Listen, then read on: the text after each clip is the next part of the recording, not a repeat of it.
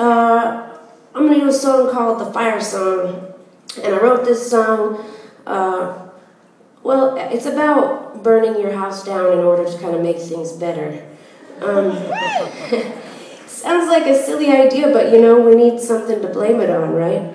And when you lose shit, it's, a, it's easier to just say, ah, I lost it in the fire, especially when it comes to the people you love. So, um, the awkward part is though, the first time I ever played this was in LA and the whole city was on fire. And I'm like, oh, uh, this song, I'm an arsonist, and, and everybody's like, what is wrong with you? I'm like, it's a metaphor. But um, anyway, cheers. I get it.